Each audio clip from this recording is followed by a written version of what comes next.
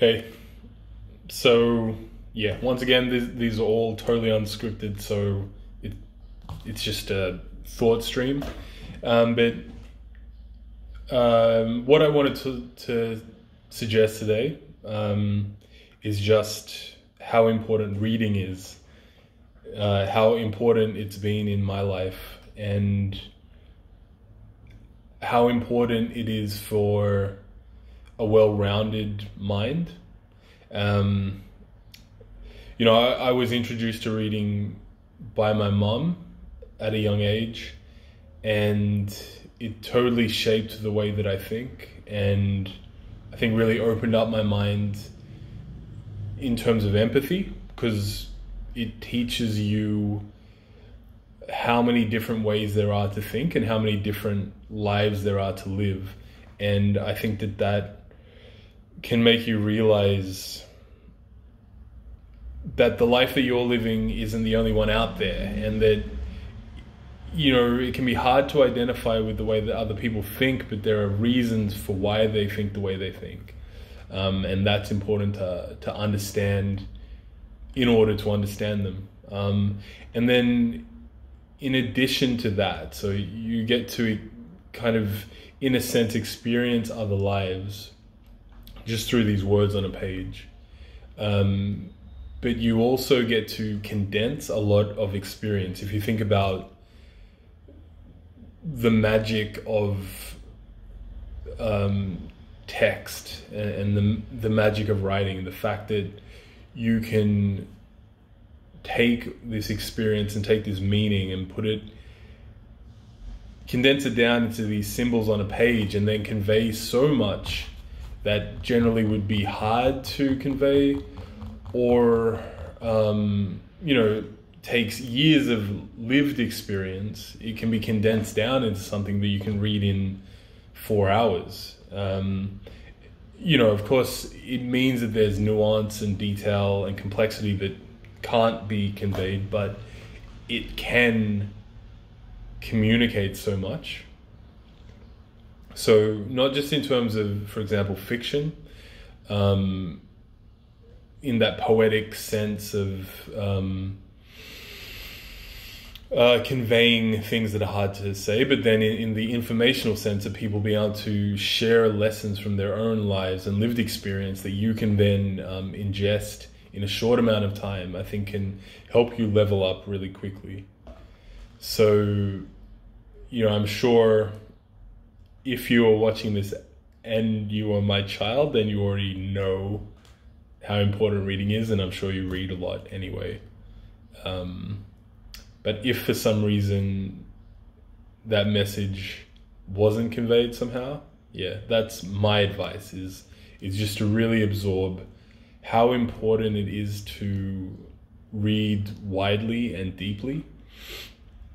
Um, try to mix fiction with non-fiction. Of course, you want to learn concrete things that you can apply to a career or apply to uh, ingenuity or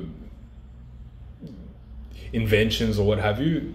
You know, science and maths and uh, practical knowledge, but then also read for the depth of understanding and empathy that it will um, teach you. And and not, not just um, experience that is directly applicable in our modern world, but the experience of the past. You, you know, I've read, for example, Marcus Aurelius's Meditations or uh, Epictetus or Plato, Socrates, what have you. Um, wisdom that's been accreted over thousands of years of human experience um, is available to you. That that's magical. That's amazing. Um, and and looking at history and looking at the way that we live today as well with the lens of understanding that people have been having these thoughts and these ideas and, and thinking about these things for millennia um, is also very eye opening and changes, I think for me personally, like your perspective of where we are, um, in terms of that that chain of uh, humanity. So, yeah, one, well, I guess one more thing I would say is that. Um, you know, in terms of let's say mathematical or scientific knowledge, you can read about a theory and understand and use that knowledge that potentially took decades or centuries or even millennia to to uh, create.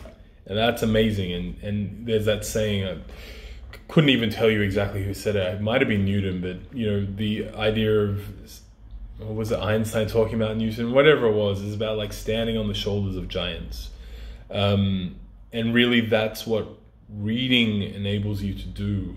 Is that you can all of a sudden like you can read the theories that took so long to put together you can read them and understand them in such a short amount of time and it, you're just like accelerating um, and you get to build upon those centuries of knowledge. Um, that's incredible. That's really a gift and and it shouldn't be wasted. So that's my lesson or you know advice. Um, today is just read read read read and read widely, um, but also yes, don't just read crap because there's definitely it's the same as with food. There's junk food and then there's nutritious, uh, healthy food.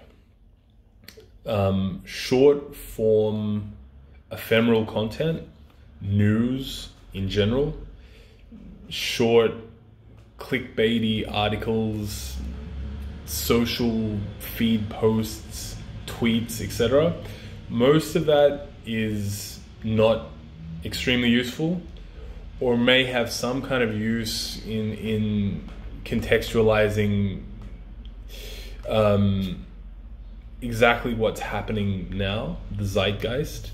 But in general, um, you can use the, the rule of thumb, the Lindy effect, that you know the utility of something can be um, profiled based upon the length of time it's existed and survived.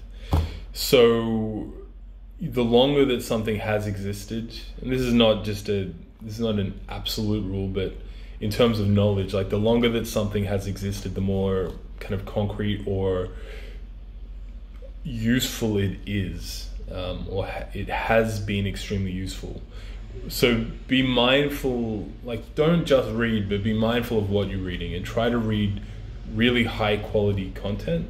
So use the lindy effect and then also use um,